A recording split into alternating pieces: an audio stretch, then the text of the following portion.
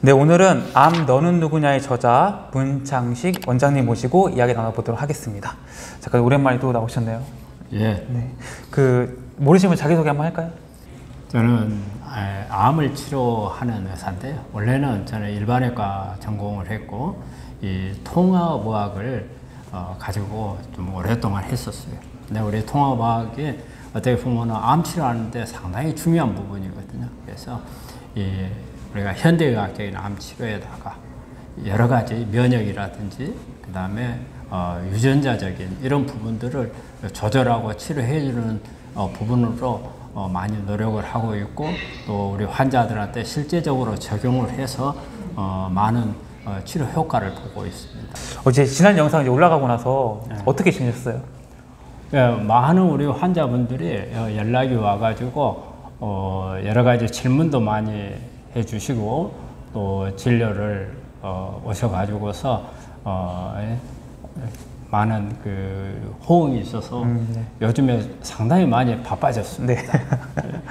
아, 그 실제로 뭐 작가님 영상 보시고 정말 이제 암에 대해서 정말 많이 알게 됐다. 네. 정확하게 알게, 됐다는 댓글이 많이 달렸거든요. 네. 오늘도 좋은 말씀 많이 부탁드리겠습니다. 예. 네. 이제 보통 이제 암에 걸리면 저도 이제 생각으로 딱 암에 걸리면은 일단 두렵거든요. 예. 죽을 것 같으니까. 예. 이 암에 대한 두려움은 보통 환자분들은 얼마나 큰가요, 이게? 아유, 암이라는 진단을 받게 되면 말이 그래요. 번개를 친다는 거예요. 어느 순간 네. 뒤통수를 번개로 맞는 듯한 이런 기분이 든다는 거죠. 네. 그렇잖아요. 암이라고 하는 것은 지금까지 개념이 어떻게 보면 암 그러면 죽음을 같이 연상했던 그런 거기 때문에 내 목숨이 날아갈 수 있다는데 충격 안 받을 사람이 없죠. 그런데 이게 암이라는 것은 어 그래요. 충격이 있어야 나중에 치료하는데 더 도움이 된다는 그런 말들이 많이 있거든요. 오, 네. 음. 왜냐하면 충격이 있어야 우리가 액션 리액션이라고 하잖아요. 네.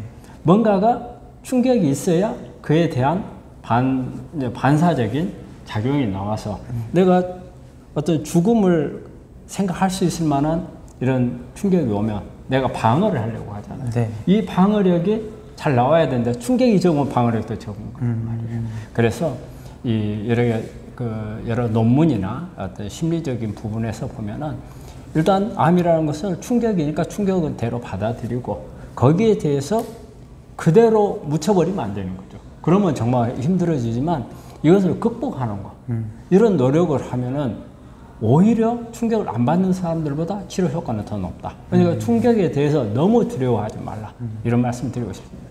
근데, 이 두려움이라는 게 우리가 이제 뭐, 아, 나 두려워하지 않을래. 라고 해서 두렵지 않은 건 아니잖아요. 그렇죠. 이 두려움을 좀 다룰 수 있는 방법? 네. 어떻게 하면 좋을까요? 예, 두려움은 어때요? 우리가 모르고 안 보여서 더 두려운 거거든요. 음. 우리가 암흑 속을 볼 때 뭐가 제일 무서워요? 저쪽에 뭐가 있는지 모르죠. 그렇죠. 그 다음에 저 안에 뭐가 있을 것 같은데 음. 성질이 뭔지를 몰라서 두려운 거거든요. 암도 마찬가지예요. 암도 이 암이라는 것은 우리가 그냥 추상적인 개념으로 어마어마한 괴물이 나한테 들어와가지고 나를 힘들게 만들 거다. 네. 예? 어쩌면 내 목숨을 가져갈지도 모른다. 이런 게 이제 두려움인데 그렇다면 이것을 이기려면 일단 암이 정말 두려운 존재인가 네. 그것부터 알아야 돼. 그 다음에 이 암에 대해서 내가 극복을 할 수 있겠는가 없겠는가 자신감을 알아야 되거든요. 그러려면 제일 먼저 해야 되는 게 암에 대해서 알아야 돼. 암에 대한 본질. 암이 정말로 괴물인가. 그런데 실제 알고 보면 암은 아주 단순하거든요.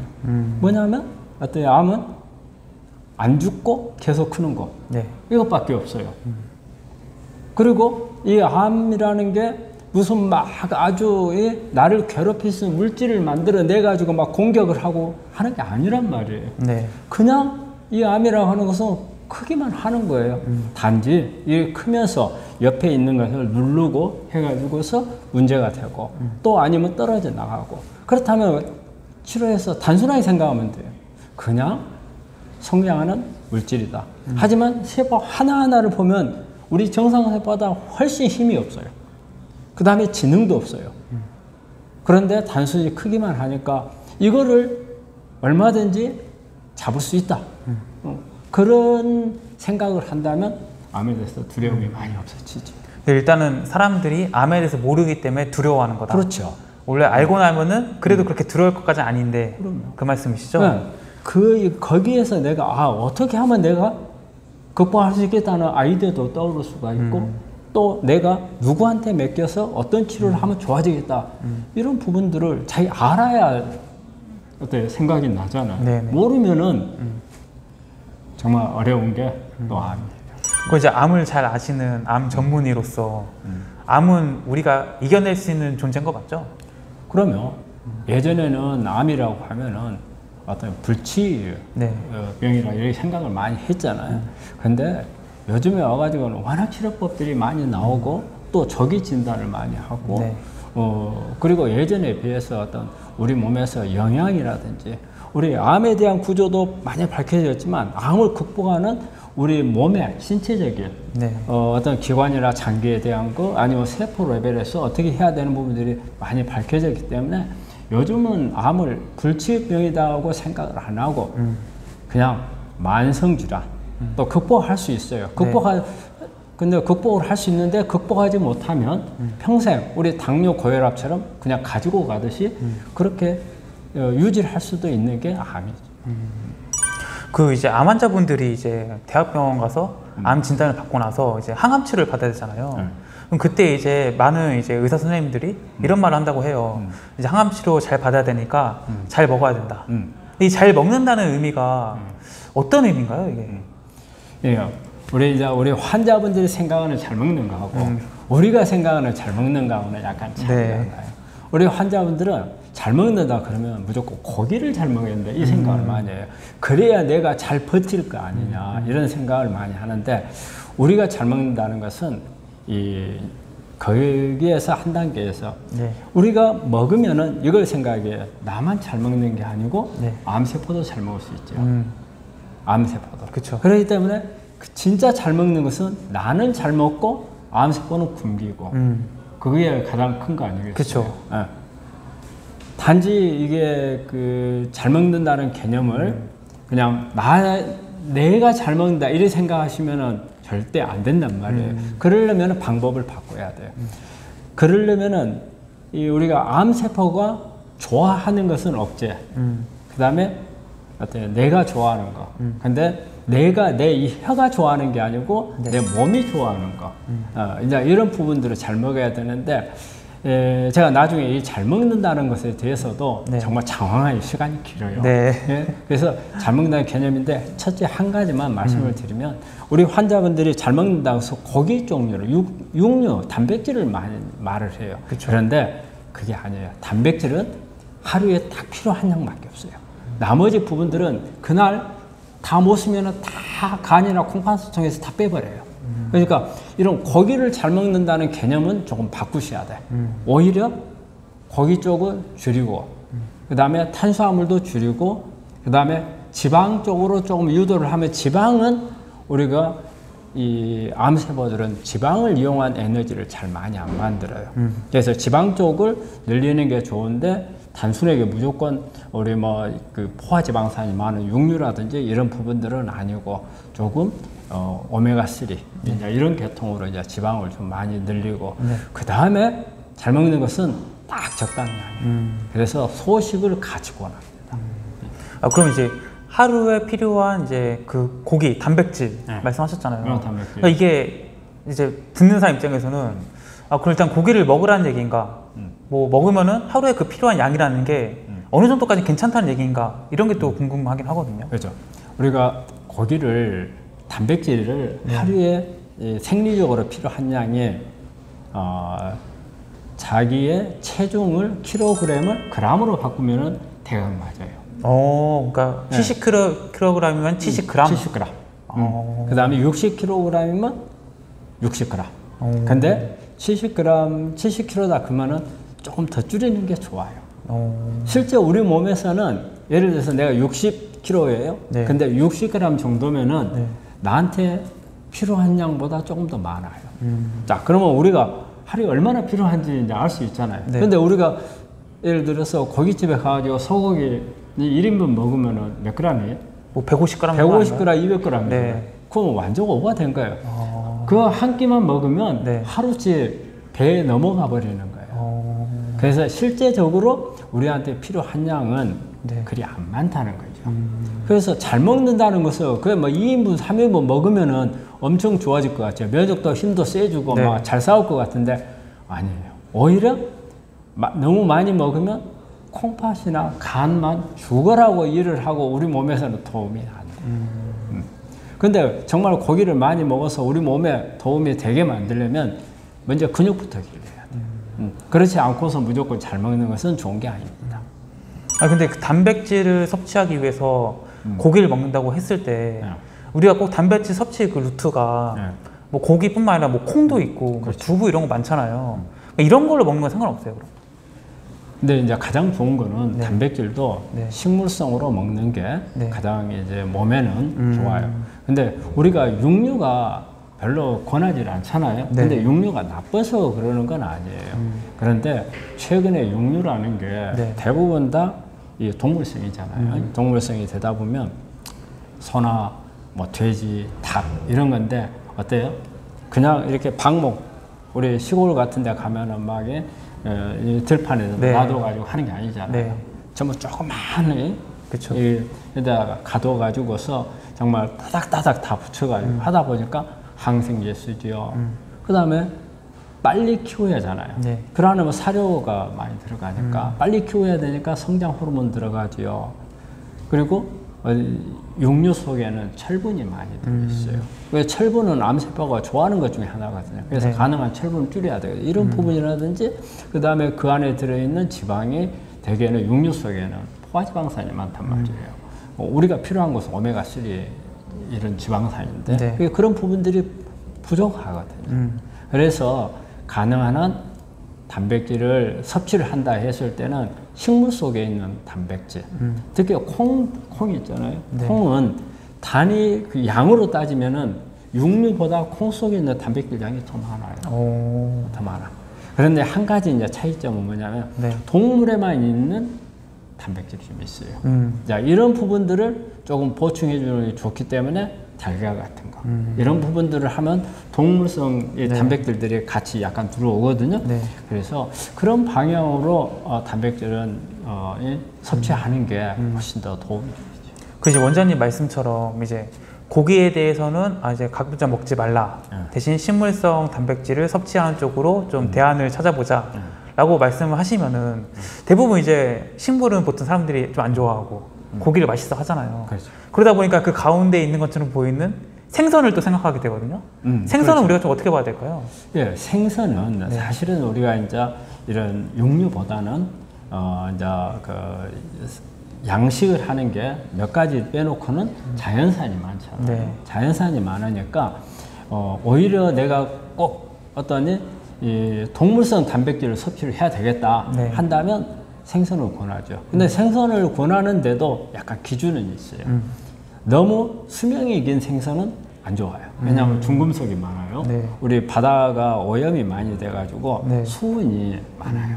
그래서 수명이 긴 생선들은 이 수은이 중금속을 가지고 있는 그런 경우가 많아서 네. 나중에 우리 몸에 어, 수은이 많이 들어오게 되면 수은으로 인해서 면역을 떨어뜨리고 해서 암에 안 좋은 영향을 많이 주기 때문에 네. 가능한 수명이 긴 생선, 연어, 참치, 그다음에 그 아주 큰 갈치들 있잖아요. 네. 그다음에 문어도 그 심해에서 있는 큰 문어들 이런 부분들은 어 약간 수은을 좀 많이 가지고 있는 경우가 있어요.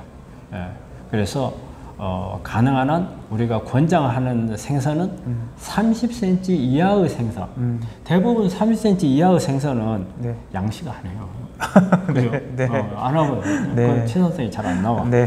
그래서 30cm 이하의 어, 생선을 섭취하는 게 좋다. 음. 그래서 우리가 그 오메가 3도 있잖아요. 오메가 3 그 우리 제품 나와 있는 거 보면 네. 좋은 거는 30cm 이하의 생선에서 추출했다는 용어가 들어가는 아, 들어가 경우가 있어요? 네. 그, 그런 게 있거든요. 네. 그래서 가능한 한 이렇게 30cm 이하의 생선이 네. 어, 좋아요. 그 이제 이제 암에 이제 걸려서 이제 암을 내가 이겨내야지 생각하시는 분들이 가장 궁금한 게 있는 것 같아요. 내가 어떻게 하면 암을 나을 수 있을까? 그래서 사실 유튜브만 보더라도 뭐 이것만 먹으면 암이 낫습니다. 이것만 하면은 뭐 암이 사라집니다. 이런 거 많잖아요. 일단 그 암- 수많은 암 환자분들을 시- 실제 진료하셨고 네. 이미 돌보는 상황 속에서 이 암 치료 이제 한 방에 나을 수 있는 음. 비법 같은 거 있나요? 예, 이게 암은요 네. 한 방을 한 방에 나올 수 있는 방법은 없어요. 우리가 아무리 암에 대해서 깊게 들어가서 연구를 해봐도 암은 원인이 너무 많아요. 너무 많아. 원인이 우리가 암이라고 하는 것은 유전자의 변이가 와야 돼요. 네. 유전자의 변이가 와가지고 이 네. 변이된 유전자가 이게 세포에 신호를 주는 건데 음. 이게 죽지 못하고 계속 클 수 있는 신호를 준단 말이에요. 네. 그런데 이런 유전자가 암을 하나를 일으키는데 음. 최소한의 20개의 유전자가 변이가 와야 된다는 음. 거예요. 유전자만 그렇죠. 또 우리 암을 잡는 게 우리 면역 세포가 잡을 거 아니에요. 네. 그다음 면역도 우리가 워낙 다양해요. 음. 면역이 우리가 단순하게 면역 그러면 높이면 된다 이렇게 생각하는데 음. 절대 그렇지는 않아요. 면역은 아주 복잡합니다. 우리가 무조건 올린다고 해서 되는 게 아니에요. 그럼 면역은 어떻게 될지. 그 다음에 또 암이 성장하고 있는 주변 환경, 음. 환경에 따라서도 얼마든지 달라지거든요. 음. 그러니까 이런 부분들을 처음부터 너무 이렇게 방대하잖아요. 그런데 한 방에 어떻게 하겠어요? 그래서 저는 우리 환자들한테 강의를 할 때 그 이야기를 해요. 암에 대해서 암을 치료하는 것은 한 방을 하는 소총을 가지고는 절대 못 잡는다. 음. 그래서 암을 잡을 때는 산탄총을 써야 된다. 네. 그래서 여러 방향에서 여러 가지의 치료법을 하면서 이 환자가 가장 취약했던 부분을 여러 개 중에서 하나가 때릴 수 있다 그 말이죠. 그럴 때 좋아진다는 거예요. 그래서 이 어느 한 방향으로 암을 치료하려고 하는 분들은 참 위험해요. 그래서 제가 이제 자연 치유 같은 것도 네, 그렇거든요. 이런 부분들 비침습적이지만 우리가 생각할 때 아주 좋은데 이게 어떤 이 자연 치유 개념은 뭐랄까 우리가 그 이렇게 장비로 따지자면 포크레인이나 이런 거는 현대의학적인 방법이 되겠고 네. 홈이나 그 다음에 어때요? 삽이나 이런 게 이제 자연 치유. 그러니까 포크레인은 좀 와일드하죠. 확 집어내지만 섬세하지를 못해요. 그렇죠. 근데 또 자연 치유는 섬세하고 꾸준하지만 크게 한 방 이게 걷어낼 수 있는 힘이 없단 말이에요. 네. 그렇기 때문에 저는 어느 한쪽 현대약, 현대약, 음. 자연치유, 자연치유 이런 방향으로 가는 것은 아니고 음. 그래서 통합의학이라는 것을 이렇게 하시는 게 가장 좋고 절대 소총 가지고는 못 잡는다는 음. 거예요. 그래서 산탄총 써야 된다는 게 예, 요즘에 그 대학에서 치료하는 것도 그래서 단일 항암제를 쓰는 게 아니고 항상 combination. 음. 앞으로 모든 치료들 암 치료는 그렇게 가는 겁니다. 그래서 너무 이거 하나 가지고 내가 암을 나을 거야 하는 것은 정말 위험한 생각입니다. 그러니까 이제 암 환자분들의 머릿속에는 이 두 가지 생각이 있는 것 같아요. 음. 아예 내가 뭐 대형 병원, 대학병원 가서 현대 의학의 힘을 빌리든지 음. 아니면은 산으로 들어가든지 음. 이두 가지 생각이 있는 것 같아요. 그렇죠. 근데 이 두 가지가 아니라 이 두 가지에서 좋은 것들을 적절하게 통합해가지고 그렇죠. 치료에 다 적극적 활용을 해야 된다는 말씀이시잖아요. 맞죠? 그러니까 이제 지금 원장님께서 하시는 통합 의료라는 게 네. 결과적으로는 이게 뭐 현대 의학을 부정하는 것도 아니고 네. 자연 치유가 무조건 좋다라는 것도 아니고 이 두 개의 장점을 취해서 환자들의 최적의 솔루션을 찾아주는 뭐 이렇게 이해하면 되는 건가요? 네. 전번에 우리 그 촬영한 것 중에서 네. 보니까 우리 환자분들의 네. 이 자연 치유하고 통합의학에 대한 개념을 잘 구분을 못 하시는 것 같더라고요. 음. 네.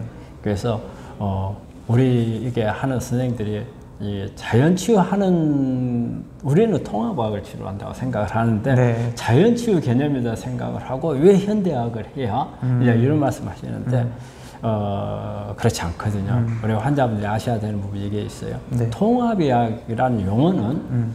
현대의학을 기초로 해서 네. 현대의학을 가지고 해결하지 못한 부분들을 음. 우리가 지금까지 이렇게 오랜 경험을 통해서 치료해왔던 방법이라든지 그리고 최근에 새로 많이 연구돼서 된 방법이지만 아직 대학에서 적용하지 않는 이런 방법들을 다 모두 모아가지고 음. 환자들한테 적용하는 게 통합의학이에요.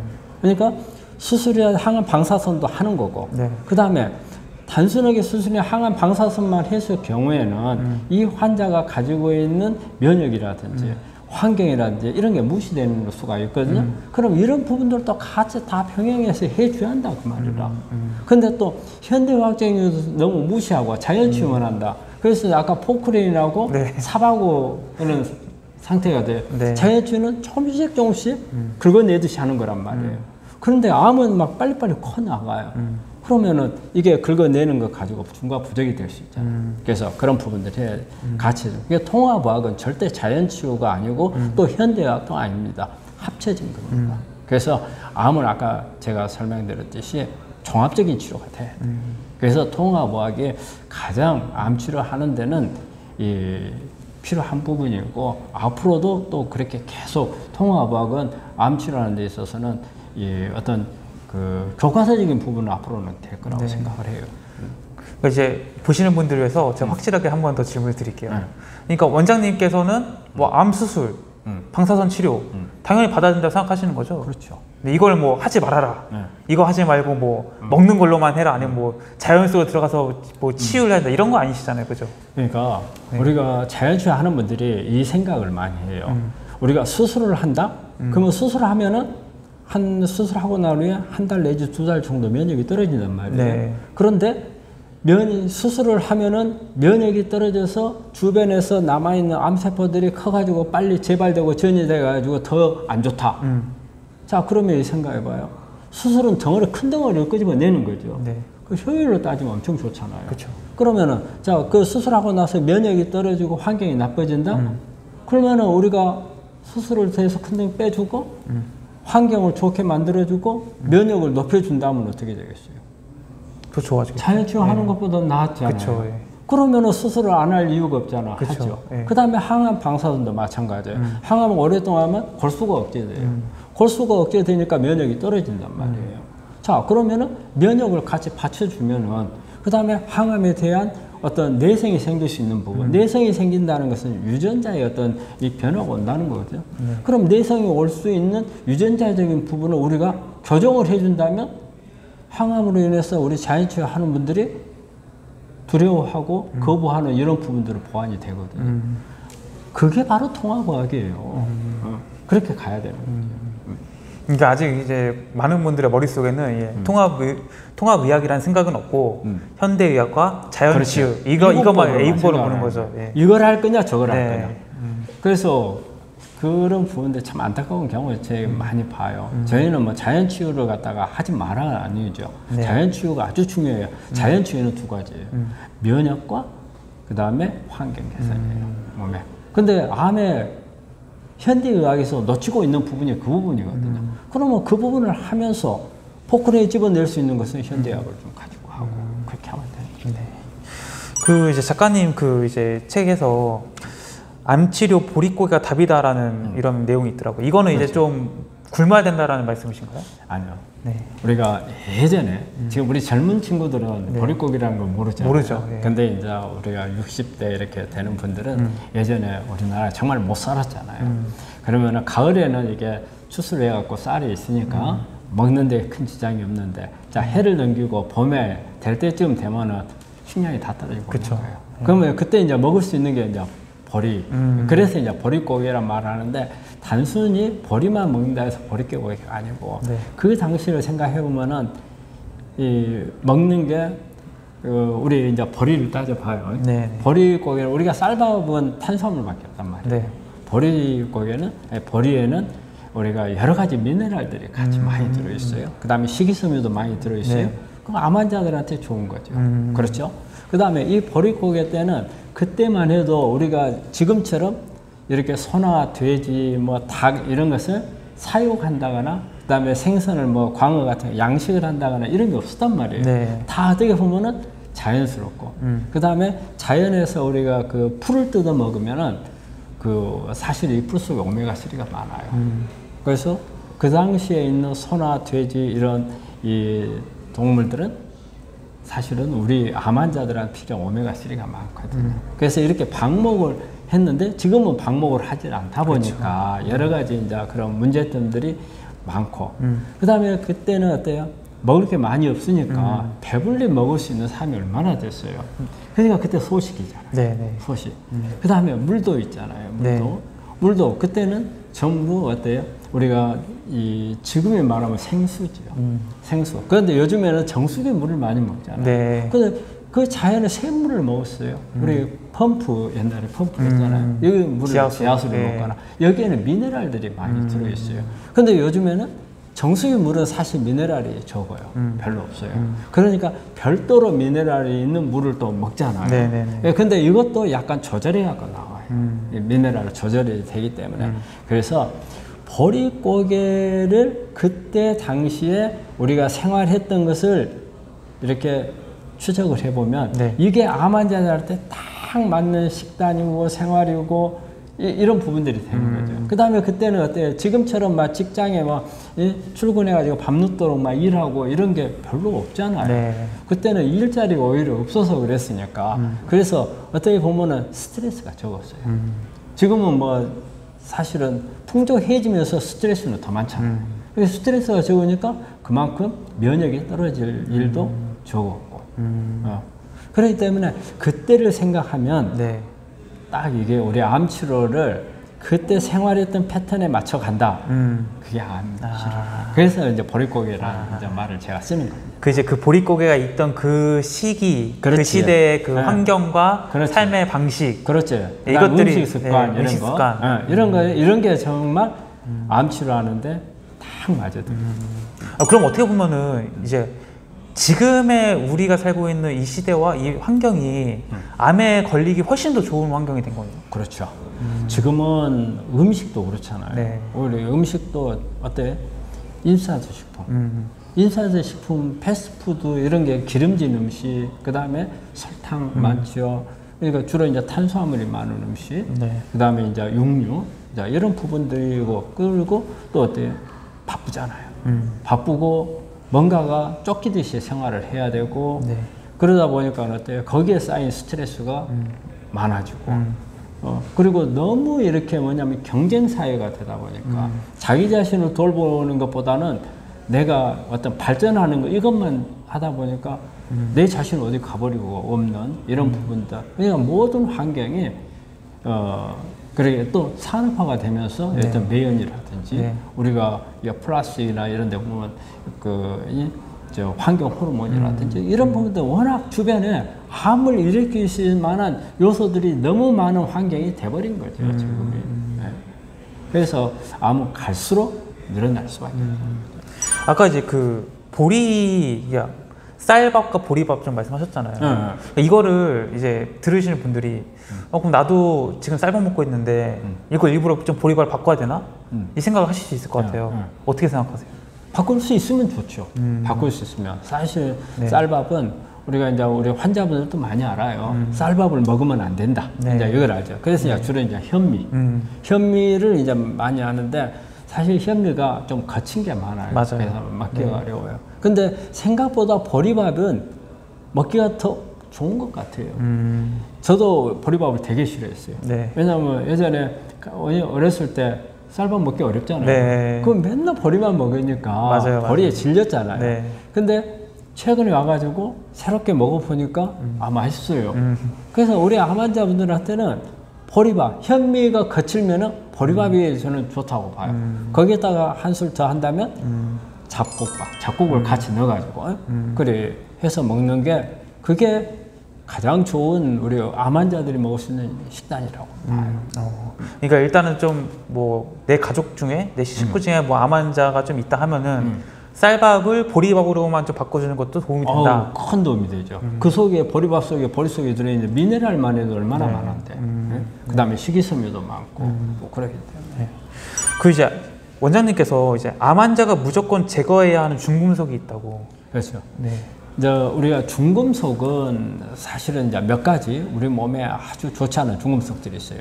일단은 저는 제일 먼저 이제 말하는 게 수은, 그 다음에 알루미늄, 네. 어, 그 다음에 뭐 우라늄, 니켈, 그다음에 뭐 바리움 이런 것들 우리가 모발 검사 하면 이런 부분들이 얼마만큼 축적이 되어 있는가 볼 수가 있거든요. 네. 그 중에서 가장 문제되는 중금속은 수은이에요. 수은. 예. 수은 자체는 네. 이게 그 뭐 발암 물질로 보지는 않아요. 음. 그렇지만 약간의 영향을 준다고 돼 있어요. 그런데 수은은 암을 일으킨다 해서 문제가 되는 것보다는 네. 수은은 면역을 떨쳐요. 왜냐하면 수은이 갑상선에 작용을 잘해요. 그래서 갑상선에서 우리가 갑상선 호르몬이 비활성형에서 활성형으로 바꿔가지고 우리 몸 안에서 작용을 하는데 비활성형이 활성형으로 전환되는데 중간에 수은이 들어가면 전환이 안 돼요. 그러면 갑상선 호르몬을 많아도 비활성형으로 남는단 말이에요. 그러면 기능을 못 해요. 그 갑상선 기능이 뭐냐면 우리 미토콘드리아에서 에너지를 만들도록 보내는 신호를 주는 거예요. 그러니까 내가 오늘 얼마만큼의 에너지가 필요하다. 그러면 우리 몸에 있는 갑상선에서 호르몬을 내 가지고 그 필요한 양만큼, 양만큼의 에너지를 만들도록 세포에다 신호를 보내는 거예요. 그런데 만약에 수은이 들어가서 그 호르몬 작용이 떨어져 버린다. 네. 그러면 나는 지금 예를 들어서 100에 대한 100만큼의 에너지가 필요한데 신호가 안 와. 음. 그럼 한 50밖에 못 만들어. 그러면은 힘이 부족하잖아요. 그런데 우리 암세포는 사실은 이런 갑상선의 신호를 받아가지고 크는 게 아니에요. 신호 안 받아요. 네. 그 우리 정상세포는 받아요. 특히 면역세포. 면역세포는 힘이 좋아야 하잖아요. 네. 그 갑상선이 신호가 잘 안 와. 에너지 만드는 신호가 안 와. 그 갑상, 이 면역세포들이 힘이 떨어질 거 아니에요. 그 암세포 공격을 잘 못하죠.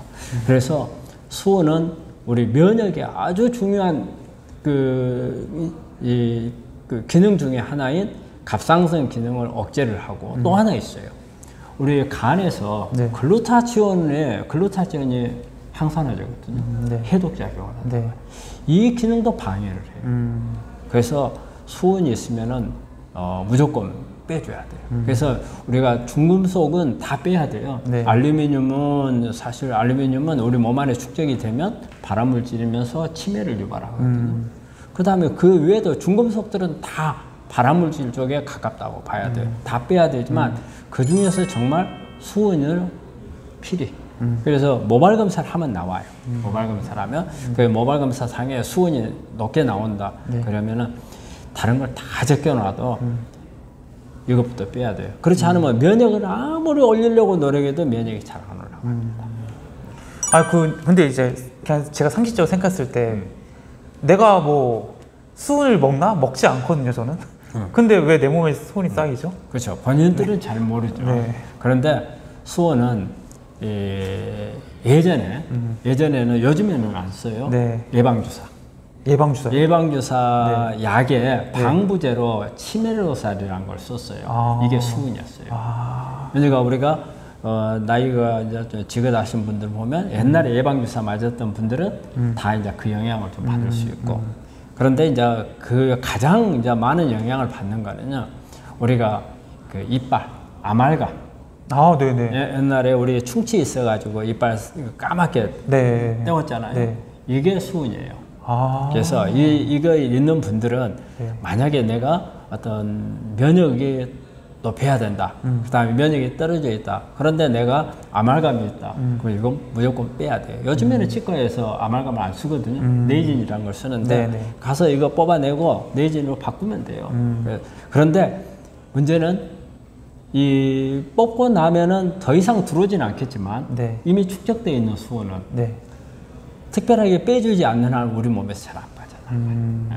그래서 어, 그 이제 아말감이 있고 또 하나가 있는 게 네. 회 속에 이렇게 오래된 생선들이 수은을 어, 상당히 축적이 돼 있는 그런 생선들이 많이 있어요. 그래서 수명이 긴 생선 네. 예, 이- 이런 생선들의 수은이 있을 수 있으니까 가능하면은 어, 생선류를 드실 때 3cm 이하 생선을 먹으라 말을 하는 것 중에 하나도 뭐냐면 어, 오래 안 살았으니까 음, 수은이 축적이 좀 적죠. 예, 그래서 수은은 이제 그런 부분들이 예방 주사, 그 다음에 이제 아말감, 그 다음에 예, 생선류에서 섭취하는 부분들. 음. 그러니까 우리가 우리도 모르는 부지불식간에 들어오는 거야. 또 옛날에는 우리가 소독약으로 아까진기라는 걸 썼죠. 네. 그것도 수은이거든요. 아, 예, 옛날에 썼어요. 네, 네, 네. 빨간. 네, 네. 그거 수은이에요. 그거. 아, 그, 그 이름이 수은이 아닐 뿐이지 이게 사실은 성분에 수은이 있는 거군요, 이게. 수은이지. 음. 그러면 뭐 추적된 수은을 뺄 수는 있는 거예요? 그렇죠. 뺄 수 있어요. 그러니까 우리가 모르기 때문에 못 빼는 거예요. 나한테 수은이 있는지 없는지 모르니까 네. 또 관심도 없었고 그쵸. 근데 이제 내가 관심을 가- 갖고 모발 검사를 하면 수온이 얼마나 축적됐느냐 나오거든요. 그 모발 검사를 해서 수온이 나온다 그러면 네. 어, 우리가 이제 chelation이라는 것을 이제 뭐 주사를 가지고 하기도 해요. 오. 근데 저는 이제 우리 암 환자들한테 chelation 주사제를 잘 안 써요. 왜냐하면 킬레이션이 강력한 이제 수은을 빼내요. 근데 이게 한꺼번에 쏟아져 나오면은 네. 혈액으로 쏟아, 쏟아져 나오면 이게 명현현상처럼 여러 가지 증상이 나오는데 그게 빠져나오는 동안에 면역도 떨궈버려요. 그래서 우리 암 환자들은 면역이 항상 유지가 돼야 되잖아요. 근데 떨어져서 주사제는 잘 안 쓰고 어, 기능식품으로 나와 있는 것들이 있어요. 그래서 우리 우리 몸에 해독 작용을 하는 메탈로치오네인이라는 이런 단백질이 있거든요. 이걸 많이 공급을 해줄 수 있는 그런 이제 기능식품들을 이제 쓰는 이- 이런 걸 쓰면은 대부분은 수온은 잘 빠져요. 음. 그러니까 이제 뭐 주사나 이제 건강기능식품, 영양제 이런 이런 걸로. 배출이 가능하다, 빼는 게 가능하다. 네. 근데 음식을 가지고는 참 어려워요. 어려워요. 네, 거의 어 렵다고 봐야 돼요. 네. 그 이제 암 환자분들에게 좀 권장하는 뭐 운동 이런 것도 혹시 있나요? 암 환자 중에 우리 암 환자들이 해야 될 운동은 네. 기본이 있어요. 네. 우리 암 환자들이 네. 이제 암에 딱 걸렸죠.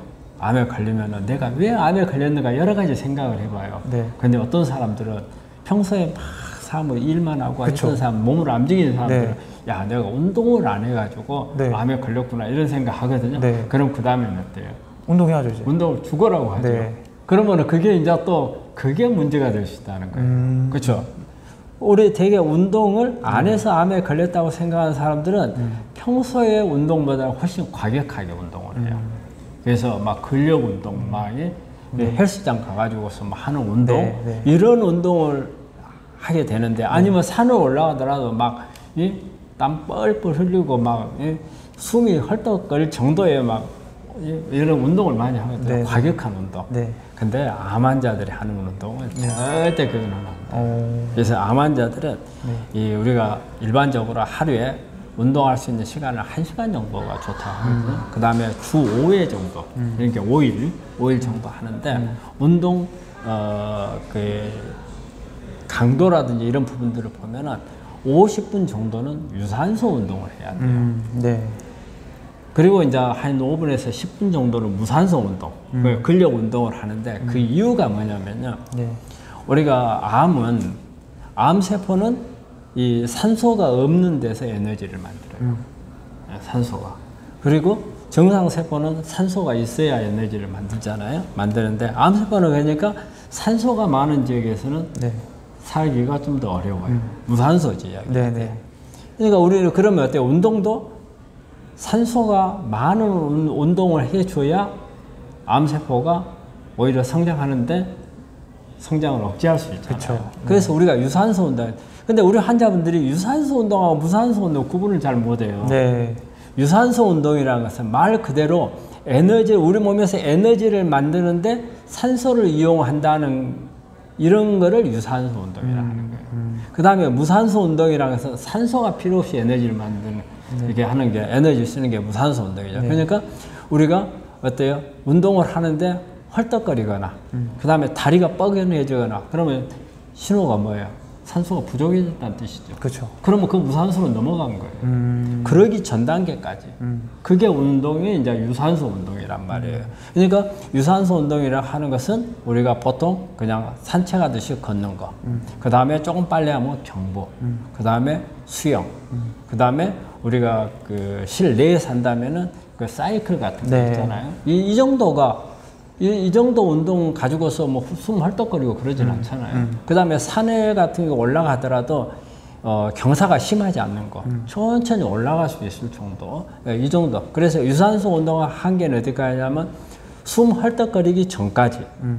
그 다음에 통증이 나오게. 우리가 100m 달리기 하고 나면 다리 뻐근해지고 아프죠.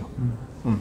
그러니까 그런 통증이 나오기 전 단계까지의 운동을 유산소 운동이라고 하고 네. 그걸 벗어나면 무산소 운동이에요. 그래서 어, 1시간 정도 하루에 운동하는 게 좋은데 네. 50분은 유산소 운동. 그다음에 15분에서 10분은 무산소 운동. 그러면 왜 암 환자가 무산소 운동 안 좋은데 무산소 운동을 하느냐 이거잖아요. 네, 네. 근데 그게 필요하단 말이에요. 왜냐하면 우리가 암 환자들이 수술을 받거나 항암을 받고 이러고 나면 근육이 다 빠져. 입원해 있고 안 움직이고 그러면 근육이 다 빠져요. 근데 유산소 운동을 해가지고 근육이 잘 돌아오질 않아요. 근데 근육이 다시 내 평소 때 근육처럼 돌아오려면 무산소 운동. 우리가 그, 그 운동하면서 근력 운동하는 사람들 막 가슴이 이렇게 막 나오고 막 하는 네. 게 전부 다 어떤 운동, 유산소 운동하고 나오는 게 아니에요. 그쵸, 헬스. 해야 잖아요. 헬스죠. 그렇죠. 그러니까 이건 무산소 운동을 통해서 나오거든요. 근데 근육을 키워야 할 필요가 있어요. 근육이 왜 꼭 필요하냐면요. 우리 환자분들 이거 아셔야 돼요.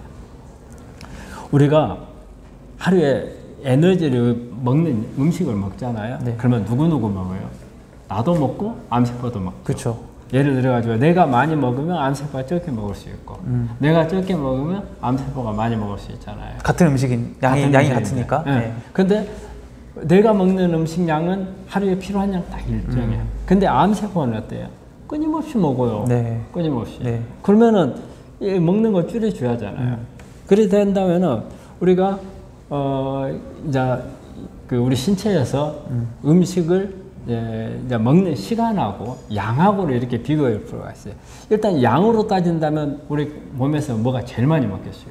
근육이 제일 많이 먹어요. 음, 네네. 어, 그 다음에 뇌, 음. 뇌가 가져가요. 그 다음에 다른 어떤 장기보다 많이 가져가요. 암이 가져가요. 아, 암이. 음. 근데 이제 그렇게 하면 이제, 이제 근육이 제일 많이 가져가잖아요. 네. 근데 어때요? 근육이 적어져 버렸다. 그러면 뇌는 항상 가져가는 양이 비슷하겠죠. 그렇죠. 예. 근데 근육이 적어졌다. 그러면은 요 근육이 못 가져간 만큼 누가 가져가겠어요? 암이 갖고. 암이 가져가잖아. 그래서 근육을 키워야 돼. 근데 가져가는 또 속도로 따지면 먹는 에너지를 넣어줬어. 음식을 먹어서 속도로 따지면 뭐가 제일 빨라요? 암이 제일 빨라. 그렇죠. 암이 제일 1번으로. 그 원리를 이용해서 치- 찍는 게 PET-CT를 그 원리에서 찍는 거. 오. 음, PET-CT. 우리가 포도당에다가 동위원소를 붙여갖고 딱 넣어주잖아요. 네. 그러면 제일 먼저 암세포가 빼들어가요. 아. 그래서 그 이게 그 동위원소가 붙어 있는 네. 이 촬영을 하면은 네. 이 동요수가 제일 많이 모여 있는 거, 이 그게 자리가. 암이 있다는 거예요. 아. 그러니까 암세포가 제일 빨라. 아. 그 다음에 가져가는 게 근육이 가져가요. 음. 그 다음에 이제 뇌. 아마 근육하고 뇌하고는 아마 순서가 바뀔 수도 음, 있어요. 예.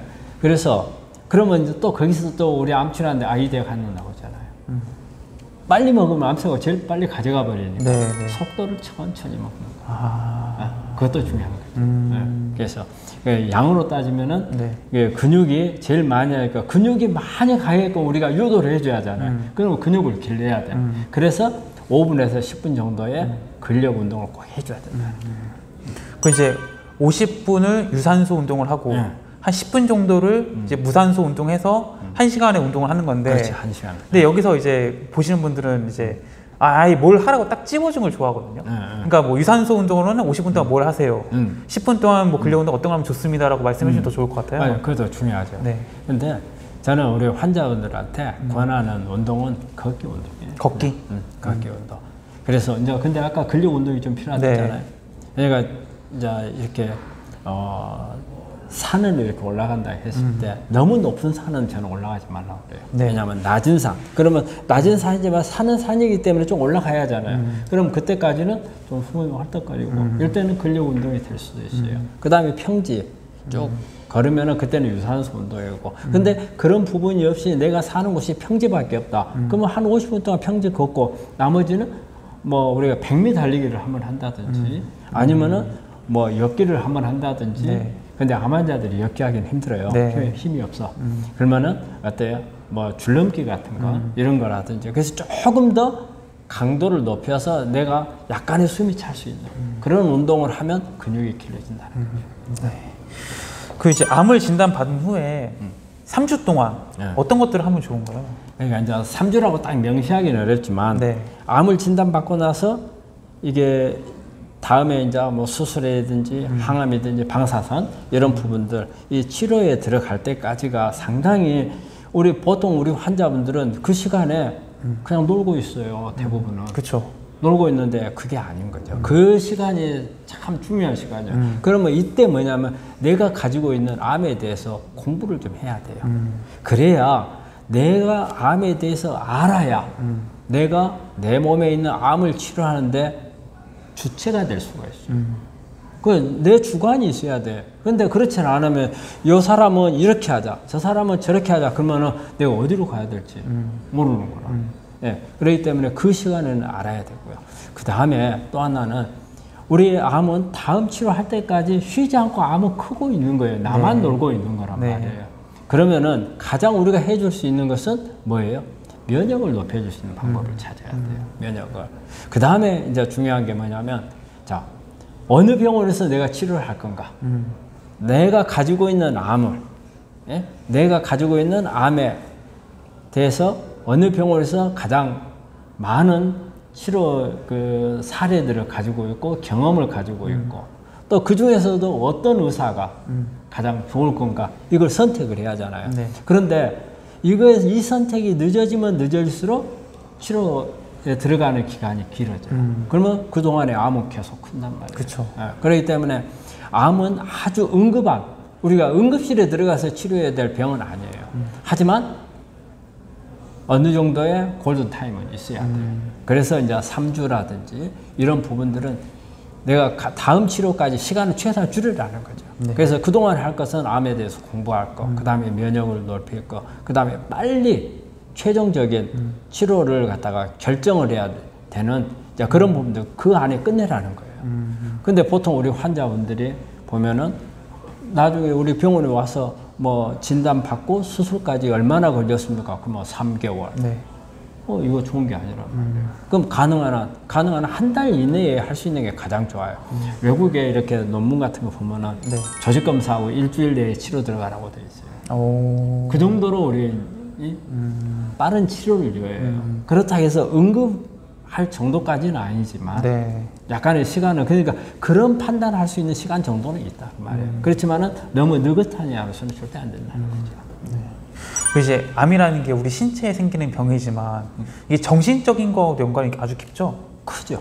얼마나 되나요 이게? 그러니까는 우리 암은 어떻게 보면은 어느 한 장기에 있는 혹이잖아요. 혹이지만 이 혹을 만드는데 영향을 주는 것은 네. 엄청나게 많은 부분들이 영향을 주죠. 그래서 암은 우리가 국소에 있는 병이지만 전신 질환이라고 하는 이유가 거기에 있어요. 그리고 또 특히 암은 심리적인 부분이 아주 그 강해요. 네. 그래서 우리가 이런 경우만 암이 아닌 사람한테 이제 여기 종합 검진을 했어요. 근데 암이라는 진단이 나온 거예요. 암이라는 진단이 나왔는데 그러면 진단 받는 순간 한 일주일 이내에 보면은 한 체중이 7, 8kg 빠져버려요. 충격을 받아가지고. 그러면은 근데 이 환자가 나중에 병원에서 딱 전화 와요. 이게 어, 저 검사가 좀 잘못돼서 암이 아니다. 네. 그럼 그 사람 암이 아니었잖아요. 네. 근데 암이란 소리 한마디 듣는 것 때문에 아. 체중이 쑥 빠져버렸죠. 아. 어. 그 다음에 이 사람이 암이란 아니란 소리 들으면 네. 얼마 안 돼서 다시 체중 다 회복해요. 음. 그럼 이 사람이 7, 8kg 체중이 빠졌을 때는 암이 그렇게 한 거 아니잖아요. 네. 자기. 야. 심리. 예. 그래서 암이라고 하는 것은 음. 어떻게 보면은 심리적인 부분이 상당히 영향을 많이 줘요. 그래서 우리가 암 환자들을 이게 상담을 하면은 네. 과거력을 이제 물어봐요. 네, 네. 그래서 제일 먼저 물어보는 것 중에 하나가 뭐냐면 네. 당신이 6개월에서 18개월, 음. 그러니까 어, 반년에서 1년 반 사이에 아주 정말 견디기 어려울 정도의 어떤 스트레스를 받은 적이 있는가? 네. 그러면은 절반 넘은 사람에 서 있어 요. 오. 그러면 어때요? 스트레스가 네. 영향을 많이 준다. 근데 스트레스는 그럴 수밖에 없는 게 우리가 스트레스라고 하는 것은 교감신경을 항진시키는 거거든요. 네. 교감신경이 항진이 되면 우리 몸을 지키는 면역은 떨어져요. 음. 떨어져서 결과적으로는 이 면역 기능이 떨어지니까 음. 암세포를 그때 잡지를 못하고 있다가 그러니까 면역이 힘이 약해지니까 암세포는 빨리 커버려요. 네. 그래서 심리적으로 그다음 진단을 받고 나도 마찬가지예요. 진단을 받고 나도 그래서 암은 심리적인 질환이라고 볼 수 있어요. 암이 이제 스트레스 때문에 생기기도 하지만 암에 걸리면 더 스트레스를 받을 거 아니에요. 예. 이, 아, 이 스트레스를 좀 어떻게 좀 다뤄주면 좋을까요? 네, 우리가 아까 이 이야기가 나왔었는데 음. 우리가 암을 진단을 받으면 충격이 오잖아요. 네. 그러면 이 충격을 극복하는 것. 암을 갖다가 충격이 없이 암이라는 것을 받아들이게 할 수 있는 방법은 없어요. 어쨌든 이거는 본능이잖아요. 음. 네. 우리 인간이라는 것은 생명에 대한 부분이 애착이 무지하게 강한 건데 내 생명을 위협할 수 있는 부분이 나한테 닥쳤다 했는데 충격을 안 받을 수는 없잖아요. 그런데 이 암이라는 이런 스트레스를 그대로 두고 치료를 들어가면 치료율이 떨어져요. 내가 지금 암이라 진단하고 나 죽게 생겼는데 아무도 어 그래 어 당신 암인데 그냥 치료만 해보자. 되면 이 사람은 두려움 속에서 해야 한단 말이에요. 그 면역이 떨어져 있는 상태에서 수술도 받고 항암도 하고 다 해야 한단 말이에요. 그리 됐을 때 그런 치료를 하고 근데 이 환자가 암에 대해서 이런 충격은 받았지만 네. 극복할 수 있는 힘, 이 사람한테 이길 수 있다는 자신감을 줄 수 있는 거. 그게 만약에 있다면은 이 사람은 치료를 똑같은 치료를 하더라도 치료율이 높아질 거란 말이에요. 심리적인 부분이. 네. 그렇기 때문에 이런 그 이것을 해주는 게 아주 중요해요. 근데 사실 우리나라에서는 그런 부분에 암 치료하는데 접근이 잘 안 돼 있어요.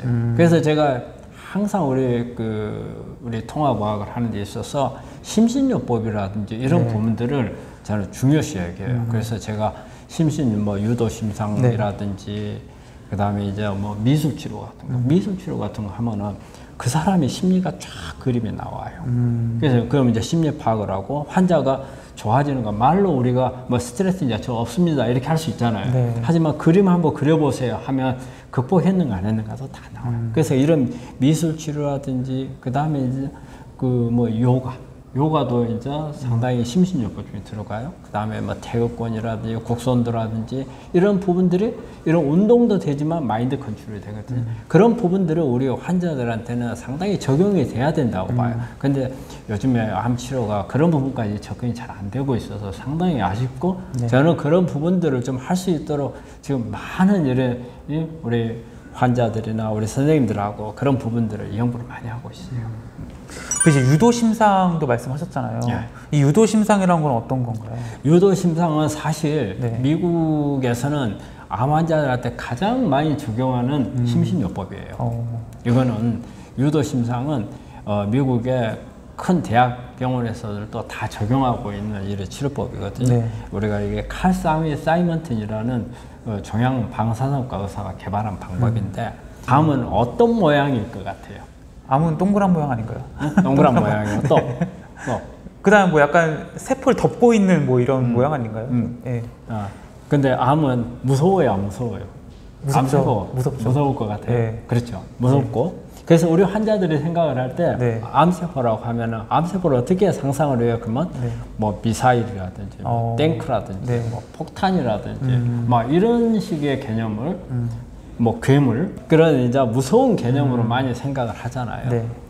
그러면 만약에 이 암세포가 네. 형상이 두부 모양이 돼 있다. 네. 두부. 아니면은 뭐 조그만 인형 모양이 돼 네. 있다. 네. 그렇게 인식을 한다면 암이 세포가 두렵겠어요, 안 두렵겠어요? 안 두렵죠, 그럼. 안 두렵죠. 네. 유도심상이라는 게 바로 그런 개념이에요. 음. 뭐냐면 이 암에 대해 암에 대한 어떤 이미지를 만들어요. 네, 네, 네. 그래서 내가 아주 공격할 수 좋게끔. 음. 음. 그리고 또 이제 그런 이제 암에 대한 건 그런 거고. 예를 들어서 수술을 한다. 수술을 하는데 수술하면 겁나잖아요. 음. 네. 두렵죠. 무섭죠. 야, 무섭죠. 근데 이 환자가 수술을 내가 수술을 받는데 내 수술 시야가 의사들한테 잘 보이게 하고 음. 또 상처가 피가 잘 안 나게 하고 네. 이런 부분들을 이미지를 한다면 나는 지금 내가 수술하는데 내가 수술하는 게 아니고 남한테 맡겨놓고 하잖아요. 그쵸. 내 남한테 내 몸을 맡겨놓고 수술하는 거잖아요. 그런데 거기에서 오는 고통이라든지 불안감은 내가 다 갖고 있는 거잖아요. 음. 그럴 때, 그럴 때 내가 만약에 이런 어떤 유도 심상에서 우리 의사가 나를 정말 시야를 잘 봐가지고 네. 어떤 합병증이나 부작용 없이 잘 해주고 음. 그런 부분들을 연상을 하는 거예요. 음. 그래서 이런 그래 다 이미지잖아요. 네네. 이미지를 만들 연상을 하면은 내 치료에 도움이 된다는 거예요. 그래서 유도 심상이라고 하는 것은 음. 네. 바로 그런 부분이에요. 어. 유도 가이드드 가이드드 이메이저리 세라피. 음. 예, 그래서 우리가 의도적으로 네. 만드는 거예요. 그리고 또 뭐냐면 내가 우울증에 빠지거나 이런 부분이 있잖아요. 네. 암이라는 장벽을 넘어야 되는데 음. 넘어가면은 정말 이 화려하고 이 나한테 정말 좋은 그런 부분들이 생길 때 이게 넘어가지 못하니까 네. 여기에서 내가 좌절하고 우울증이 올 수 있잖아요. 음. 자 그러면 내가 만약에 이것만 넘겼다. 음. 그러면 이 다음에 나한테 어떤 이 정말 비전 있는 부분이 밝은 미래가 있을 것인가 음. 이런 것을 연상을 한다는 거예요. 연상을 하면 내가 요거 빨리 넘어야겠다는 의지가 생기는 네. 거잖아요. 그냥 그런 부분들이 바로 간단하게 설명하면 유도심상이에요. 그러니까 이제 어떻게 보면 이런 거네요. 좀 부정적인 생각보다는 긍정적인 생각을 좀 그렇죠. 하고 내 마음을 바꿔주는 네. 거예요. 또 뭐 내가 다 암이 다 나은 모습을 상상하고 뭐 어, 이런 거죠. 그렇죠. 또 이런 게 있어요. 네.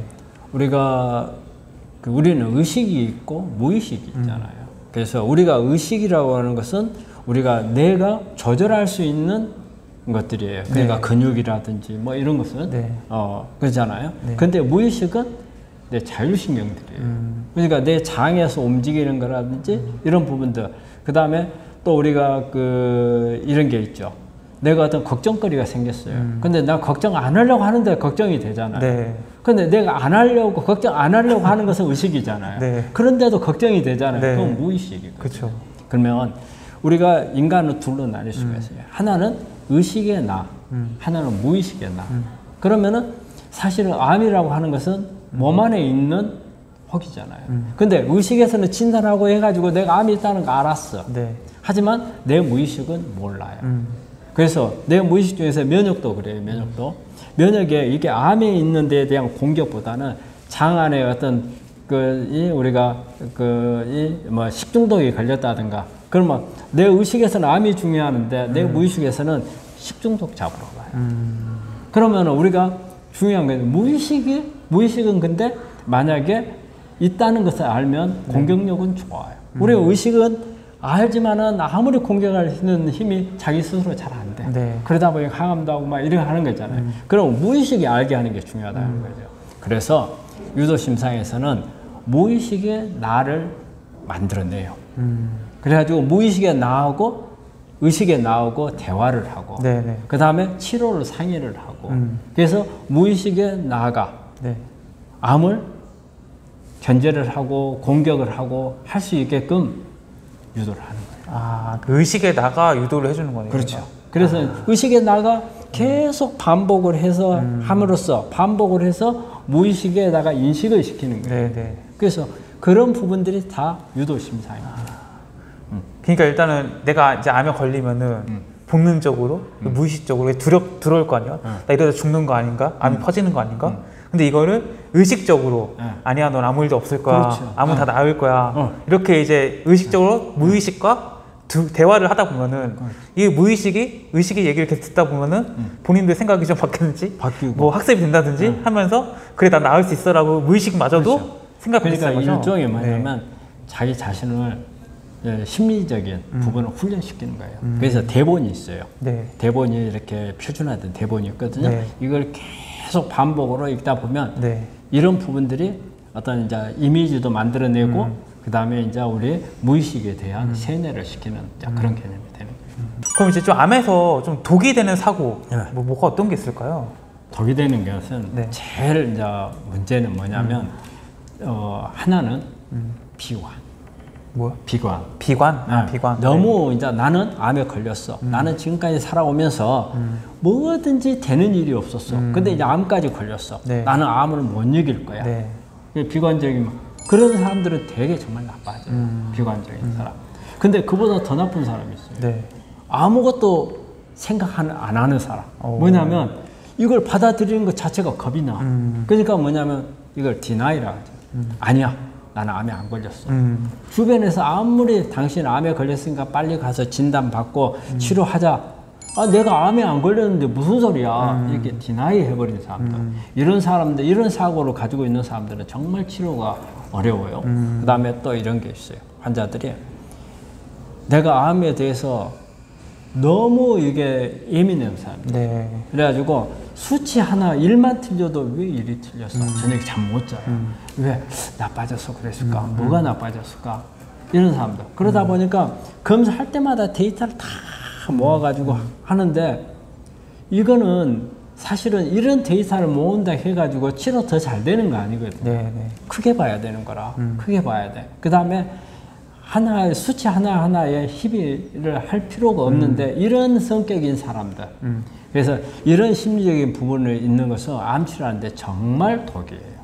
그래서 내가 제일 두려워하는 사람들, 우리 상담하러 오는 환자들한테 네. 딱 들어올 때에 뭘 보냐면 자료를 이렇게 딱 들고 온 사람들. 아. 그 다음에 가방 이렇게 들고 오는데 서류 가방처럼 들고 온 사람들. 네. 딱 앉았는데 노트 같은 거 이게 네. 딱 내놓은 사람들. 아니면은 패드 같은 거 내가지고 그 안에 있는 거 자료 보여준다고 하는 분들 겁나요. 음. 이 그게 심리적으로 그게 좋은 건 아니에요.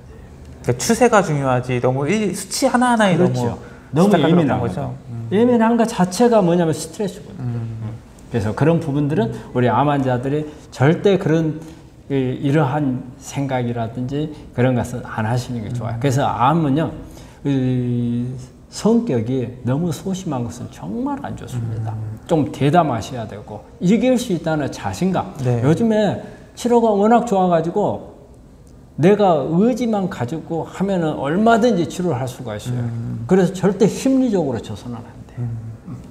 아니 그 이제 그 디나이 그러니까 음. 부정 내지 부인을 하는 건데 이게 이제 안 좋다라고 하셨잖아요. 그 이게 좀 들으시는 분들이 아까 뭐 유도 심상 음. 할 때는 나는 뭐 암이 다 나았다 이렇게 생각하라고 했는데 아, 나는 암 환자가 아니야 음. 이렇게 생각하는 게 또 어떻게 보면 겹치는 부분이 좀 있을 수 있어가지고 그러니까 이 사람들은 암이 아니야라고 생각을 하는 것은 네. 그냥 암이 아 저 사람이 나저 의사가 나 오진을 했어 이 뜻으로 하는 게 아니에요. 너무 겁이 나니까 안 받아들여 버려요. 그러니까 내가 지금 여기 앉아 있지만은 내가 여기 없는 거예요. 응? 없는 거예요. 나, 나를 지나게. 예, 예, 예. 이거는 뭐냐면 치료 의지도 없어요. 그럴 때만. 그 다음에 어떤 일을 극복하려고 하는 힘도 없어요. 응? 나는 암 환자가 아니니까 어, 암 환자가 아니다. 암 환자라는 거 인식하기가 싫은 거예요. 인식하는 것이 싫다기보다는 너무 겁이 나는 거예요. 피해 버리는 거군요. 피해버리는 거죠. 그게 안 좋은 거예요. 그럼 이제 암 환자분들이 좀 생각했을 때 치유에 대한 최상의 이미지는 어떤 건가요? 그러니까 최상의 이미지는 네. 그러니까 이제 아까 유도 심상에서 이런 게 나와요. 이미지는 일단은 뭐냐면 짧게는 네. 내가 수술을 한다. 그러면 어떤 수술을 나와서 아무 부작용도 없고 후유증도 없이 너무 이렇게 가뿐한 이런 것을 연상할 수 있는 거잖아요. 음. 그런 부분이라든지 자 항암을 네. 항암을 했다. 항암을 하는데 내가 항암하면 뭐 전신통도 나오고 구토도 나오고 뭐 손발 저린 거뭐 다양한 것들이 나오잖아요. 이런 부분들이 없이 항암을 잘 맞출 수 있다. 이제 그런 부분들 연상을 할 수가 있는 거고 또 이제 크게 보자면은 내가 암을 극복을 해가지고 이제 한 5년 내지 10년 후에 내 주치의가 완치했습니다. 네. 이 말을 해줄 때 얼마나 그 사람이 기쁘겠어요. 그쵸. 이런 부분들이 연상을 하는 거. 그런 부분들이 나를 긍정적으로 만들고 치료 의지를 끄집어 내주는 거죠. 이런 게 아주 중요해요. 이게 이 유도 심상이라는 거는 치료 의지를 어떻게 보면 극대화시키고 그렇죠. 내 완, 긍정적인 생각을 반복함으로써 치유의 효과에 개선을 주는 거군요, 일종의. 그렇죠. 치료의 하나 방법이라고 봐야 돼요. 그래서 우리가 육체적인 일은 네. 치료도 있지만 암은 심리적인 질환이라고 생각을 해야 되거든요. 네. 그래서 그런 부분들을 같이 병행을 해야 제대로 치료가 된다는 거죠. 그 이제 뭐 마인드셋은 이제 이, 이 유도 심상을 통해서 내가 아주 최상의 이미지를 상상한다고 하고 그 실질적으로 어쨌거나 내가 암세포가 발견되고 하면은 이제 뭐 수술 같은 것도 하긴 해야 되잖아요. 이 성공적인 수술을 위한 뭐 준비 어떤 것들을 좀 하면 좋을까요? 그러니까 우리가 이제 암 진단을 받고 음. 이제 수술을 할 때까지 그 시간 있잖아요. 네. 그 시간 동안에 이제 준비를 해야 될 부분들이 네. 많이 있어요.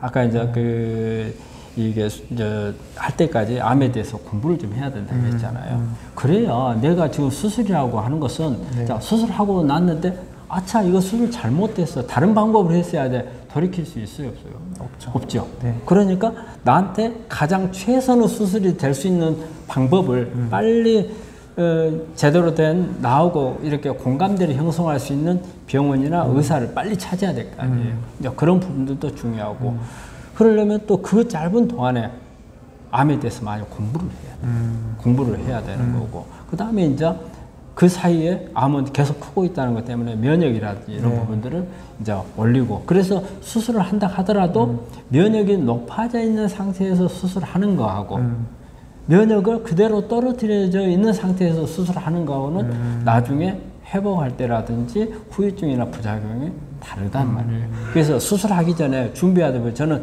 우리 환자들한테 꼭 하는 게 정확하게 자기 자신을 제대로 치료해 줄 수 있는 네. 의사를 찾는 거하고 네. 그때까지 면역을 높이는 거 저는 두 가지를 아주 중요하게 생각을 해요. 그럼 면역을 높이는 거는 뭐 음식 습관 뭐 이런 건가요? 그러니까 면역을 높이려면 네. 일단은 이것도 알아야 돼요. 네. 그러면 면역을 빨리 혈액 검사하면 면역을 파악을 할 수가 있어요. 네. 그래서 취약한 거에 어- 어떤 면역이 취약한가 그걸 보완을 해줘야 돼요. 아. 그 무턱대고 면역을 높인다 해가지고 면역 높이는 막 음식 네. 먹고 뭐 약 먹고 네. 그런데 내가 먹었던 게 내 건 면역에 취약한 부분을 보완을 못 해준다면 아무 소용이 없는 거잖아요. 내가 이게 막 면역 세포라든지 이게 많어. 근데 면역 세포 몽땅 높이는 거 하면 무슨 소용이 있어요? 그렇죠. 네, 그러니까는 내가 취약한 거, 면역 세포가 힘이 없어서 공격을 못했다. 그럼 힘을 강화시켜 주는 거. 예? 근데 암세포를 못 찾는다. 면역 세포가. 그럼 찾게끔 해주는 거. 이렇게 면역은 세분화해 가지고서 취약한 부분을 공격을 해줘야 되고 그그 부분을 수술하기 전에 파악을 해둬야 수술 끝나고 나면은 면역이 더 떨어진댔잖아요. 네, 네. 떨어질 때 적용을 해서 바로 할 수가 있잖아요. 근데 그걸 안 해놓으면은 떨어져서 무슨 면역을 높여야 될지 모르잖아요. 그러니까 수술하기 전에 이런 부분들을 좀 준비를 해야 되죠. 그러니까 수술하기 전에는 이제 면역력을 높이는 일들을 많이 해놔야 된다. 그렇죠. 많이 하고 그리고 공부 암에 대해서 공부 좀 많이 해놓고. 네. 네. 그 이제 방사선 치료가 최선이 되도록 해야 된다는 얘기는 어떤 얘기인가요? 예, 그러니까 방사선 치료는 우리가 어때요? 말고 달도 여러 번 못해요. 네. 왜냐하면 조사할 수 있는 양이 정해져 있잖아요. 그래서 가장 효율적인 치료를 해야 되는 게 방사선이에요. 음. 예, 방사선이 그러니까 암이라고 하는 것은 네. 어느 정도 일정한 사이즈가 있잖아요. 그래서 이 사이즈 주변에 정상 세포에 손상을 안 주면서 암 세포만 딱 공격할 수 있어야 하잖아요. 네. 그래 그래야 방사선 양도 적어질 거 아니에요. 요만큼인데 요만큼을 때린다. 그럼 방사선이 여기 다 나갔잖아요. 그쵸. 양이 많아졌잖아요. 그럼 이런데 정상 세포 때려주면 뭐 여러 가지 후유증들이 생길 수 있단 말이에요. 그래서 그렇게, 그렇게 양을 최대한으로 줄일 수 있으려면 정확한 사이즈. 그 다음에 한 번 할 때 어느 정도를 해서 해야 가장 효율적인가. 음. 한 20번 때려야 돼요. 좋아요. 그 10번밖에 안 한다. 그러면은 안 되잖아요. 또, 이 10번밖에 필요 없는데 20번 한다. 그것도 아- 안 좋은 거고. 부족해도 안 좋고, 과해도 안 좋고, 가장 적정량이라든지.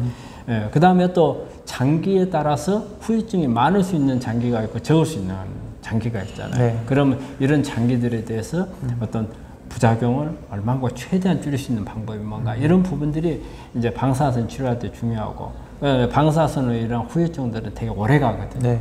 오래 가서 그냥 회복이 잘 안 되기 때문에 신중을 기해야 되는 거죠. 그 이제 암과 장애 관계에 대해서 여쭤보고 싶은데 이게 뭐 내가 대장암 뭐 이런 게 아니더라도 그러니까 일반적인 모든 암과 장과 관계가 있다는 말씀이시죠? 그렇죠. 어떤 관계가 있는 건가요? 우리가 암에 이제 걸리는 원인을 한번 볼게요. 원인에서 원인에서 이 영향을 줄 수 있는 부분 중에 네. 우리 이제 면역이 네. 우리 암세포는 하루에 한 3천 개에서 4천 개 생긴다고 예, 전에 우리가 때 제가 네. 이제 이야기를 했을 건데 매일 생겨요. 그러니까 암세포가 생기는 것을 막을 수는 없어. 네. 막을 수는 없는데 이 암세포가 커 나가는 과정에 이거를 없애고 하는 것은 가장 중요한 게 면역이란 말이에요. 그러면 이 면역이 튼튼할수록 암세포가 커지를 못해요. 그런 도중에 없어져 버릴 가능성이 많아요.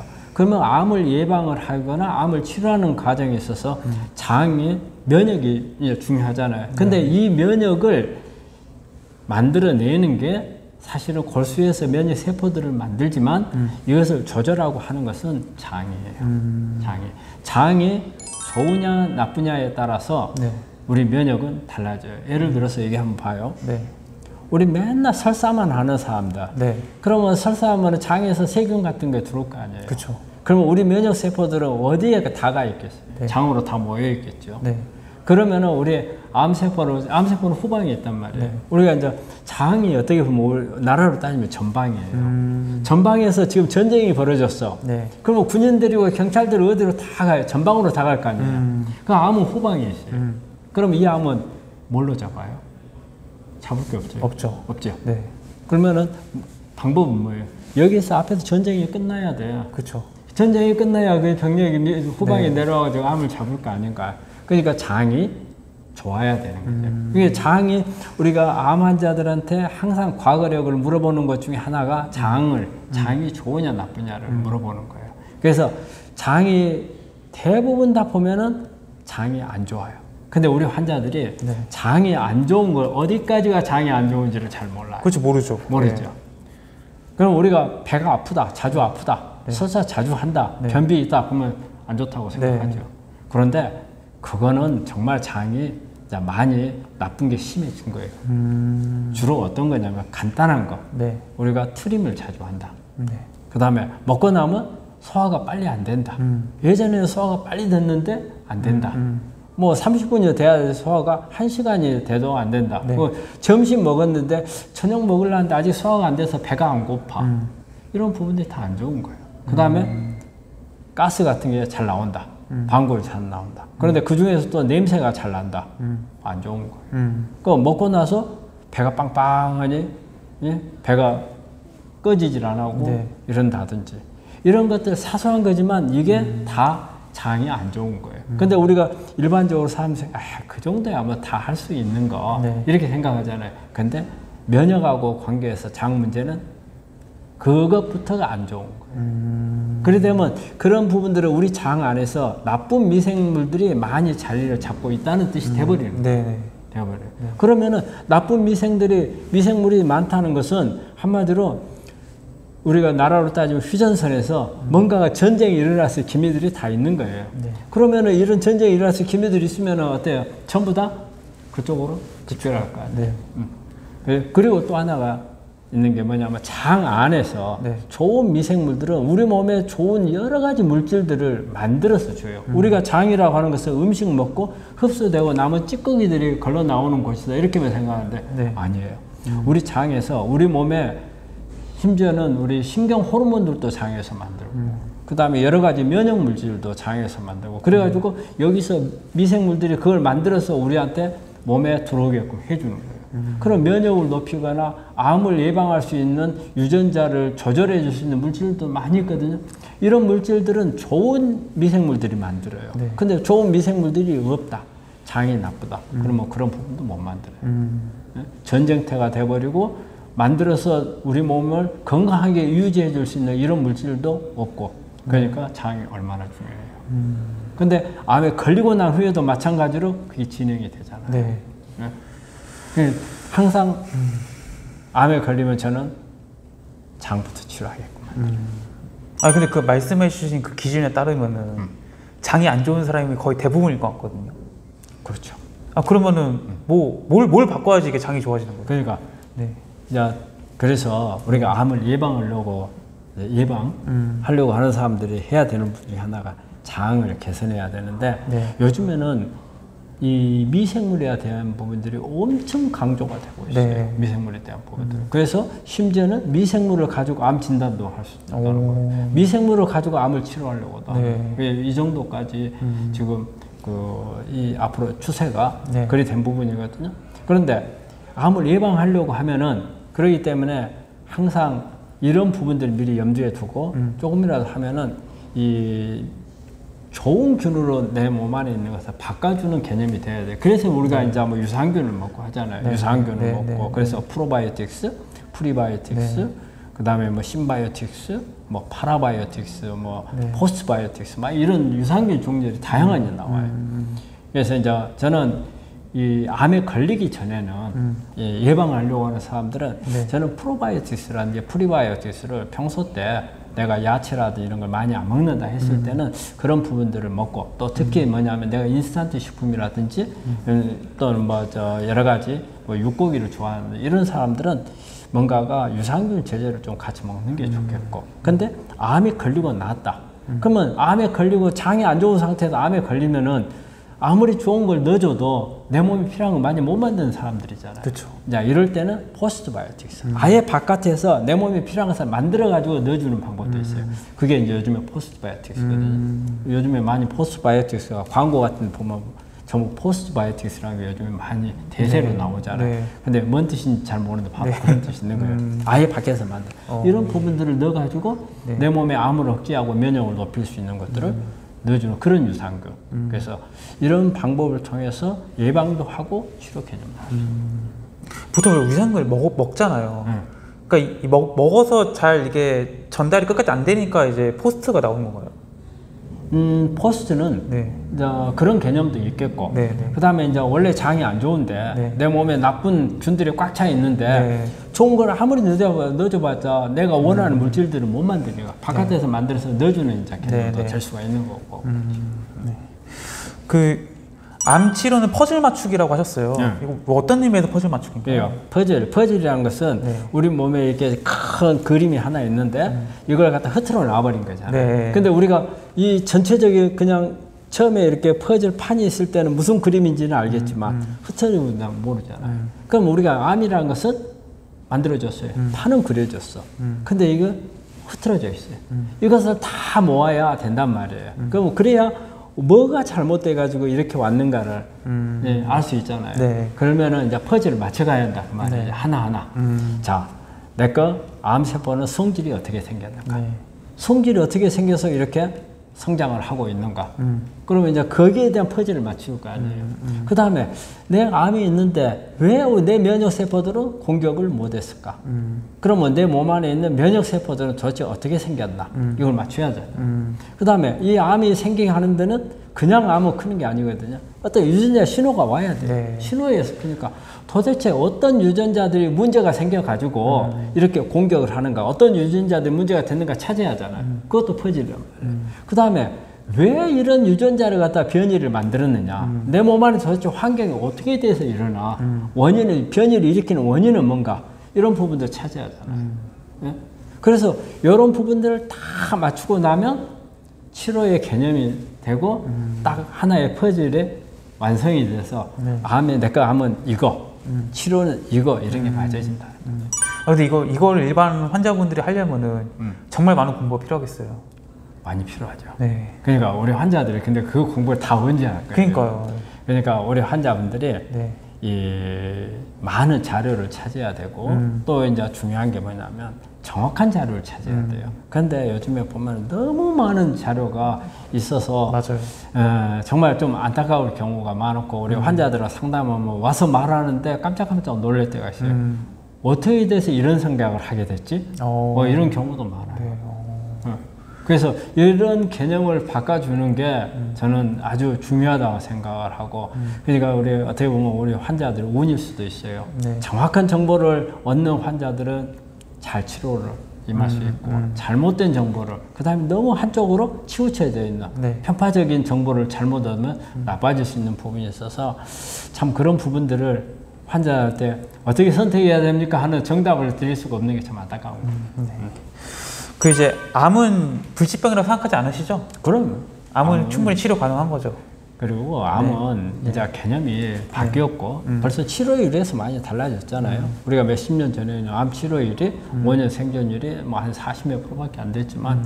지금은 얼마 전에 통계 보니까 73%. 어. 지금은 뭐 조금씩 조금씩 계속 올라가고 있는 네. 거니까 일단은 어 나빠질 것보다는 좋아질 가능성이 있는 질환이잖아요. 음. 그 다음에 또 하나는 앞으로 그 깊게 연구를 해 나가다 보면은 여러 가지 많은 치료법들이 나오잖아요. 그래서 요즘에 나오는 치료법들은 야 이렇게 하면 정말 다 좋아지겠다 하는 이런 치료법들이 많이 이렇게 연구가 되고 있고 개발돼서 나오고 있거든요. 그래서 지금까지는 암을 한번 걸리면은 뭐 이 목숨을 잃을 수도 있는 네. 불치병이다 이런 개념이 아니고 어느 정도는 거의 치료될 수 있다. 음. 그리고 정 안 된다면 나하고 평생 동반돼서 갈 수 있다. 네. 이 정도의 동반돼서 갈 수 있다는 것 자체가 만성질 아니거든요. 음. 그리고 우리가 일반적으로 당뇨라든지 고혈압이라든지 이런 병들이 어때요? 치료되는 병이 아니잖아요. 관리하는 병이잖아요. 네. 암도 그런 관리하는 병으로 될 수 있다는 거죠. 네. 그러니까 관리를 잘해야 되는 병이다. 그렇죠. 불치병이 아니라. 네. 근데 이제 암은 한 가지. 중간에 방심하면 안 된다. 어, 네. 끝까지 열심히 네. 끊임없이 왜 그러냐면 암이라는 게 증상이 이제 암 덩어리가 커져가지고 나빠지면은 나오겠지만 관해된 상태에서는 제일 우리가 이제 신경을 쓰는 게 뭐예요? 수술하고 항암 받았어. 암세포 안 보였어. 안 보였는데 언제 재발이 될지 전이가 될지 모르는 게 두려운 거잖아요. 그런데 이게 검사상에 나오기 전까지는 아무 증상도 없어. 그러면 환자들이 아 나는 다 나온 모양이다 방심을 한단 말이에요. 이 방심이 가장 안 좋은 거예요. 항상 일정한 패턴 내 몸을 유지해야 된다는 생각을 네. 5년에서 10년간 가지고 아니면 평생 가지고 가야 돼. 그럼 결국 우리가 이제 암에서 백전백승 하기 위해서 음. 꼭 해야 되는 거 뭐가 있을까요? 우리가 그 손자병법에 보면 음. 그래서 백전백승이라 네. 하잖아요. 그래서 내가 이런 뭐 이런 말을 썼어요. 지암지기이면 네. 대감백승이다. 오, 예. 그래서 제 책에도 그- 네. 그 말을 써놨는데 네. 암도 적이에요. 음, 적을 알아야 적을 알고 나를 알아야 암에 이길 거 아니냐 음. 이거라. 그러면 우리가 사실은 보면은 우리 환자들이 암에 대해서도 모르고 자신에 대해서도 몰라. 그쵸. 내 몸이 좀 모른단 말이에요. 네. 그러다 보니까 치료를 내가 스스로의 치료보다는 남한테 맡길 수밖에 없어요. 음. 그럼 이 사람이 와서 이렇게 하자, 저 사람이 와서 저렇게 하자, 음. 자기는 아무것도 존재도 없는 거예요. 네. 아무 내가 가지고 있는데 내 존재가 없어요. 그래서 제일 중요한 거는 본인이 암에 대해서 알아야 된다는 거예요. 그 다음에 내 몸의 상태가 어떻다는 거 알아야 돼요. 근데 더 나쁜 것은 알고도 실천을 안 하는 사람들이 더 나쁜 사람들이에요. 근데 저는 우리 환자들 그게 참 많이 봐요. 검사를 처음 이제 환자들이 하러 와요. 네. 와가지고 그래 되면은 뭐 이제 여러 가지 이제 면역부터 해가지고 우리 몸 안의 상태나 이런 걸 다 검사를 하거든요. 저는 다 하는데 다 하고 나서 이러이런 치료가 필요합니다 하는데 알았습니다 하고 치료 안 해버리는 사람들이 많아요. 정말 안타까워요. 그러다가 뭐 한 1, 2년 후에 와가지고 제발 전이 됐으면 온다고. 그러면은 그때 이제 지나가 버렸으니까 이제 아, 그때 내 말 좀 듣지 이런 네. 생각을 하지만 네. 또 이제 그래갖고 온 사람한테 당신이 왜 내 말 안 듣고 그렇게 했느냐 탓할 수도 없잖아요. 그쵸. 고생을 하고 있는 사람은 본인인데 네. 그럴 때는 참 마음속으로 안타깝다는 생각을 많이 하게 되는데 음. 그래서 우리 암 환자들은 정말 이 그런 부분들 정확하게 파악을 해서 자기 자신의 전념을 다해서 치료를 하는 이런 부분들이 예, 정말 중요하다. 끝으로 이제 성장일기 구독자분들에게 하고 싶은 말 있으시면. 네. 네. 우리 환자분들은 요즘에 요즘에 날씨 엄청 덥잖아요. 요- 요즘에 많이 그 면역이 많이 떨어질 시기예요. 많이 지치기도 하고. 그래서 이럴 때일수록 어, 관리를 잘 하셔야 돼요. 암이라고 하는 것은 어느 날 부지불식간에 나도 모르게 걸렸지만 또 치료하는 과정에 재발 전이도 나도 모르게 올 수가 있어요. 그래서 암은 우리가 겁을 내고 할 수 있는 병은 아니에요. 하지만 항상 염두에 두고 관심을 갖고 이 관리하는 질환이거든요. 그래서 이럴 때일수록 좀 더 예? 어, 운동도 좀 더 열심히 하고 그 다음에 기분 좋을 수 있는 이런 상황들을 많이 만들어서 하셔서 예, 어느 때든지 내 몸은 항상 건강한 상태로 유지할 수 있게 만든다는 그런 생각을 하시고 어, 힘드시지만 열심히 치료하시면 완치될 수 있습니다. 네. 그래서 오늘은 이제 암 너는 누구냐의 저자 문찬씨 원장님 모시고 이야기 나눠봤습니다. 오늘 좋은 말씀 감사하고요. 영상 반식 구독자분들도 고맙습니다. 감사합니다. 감사합니다.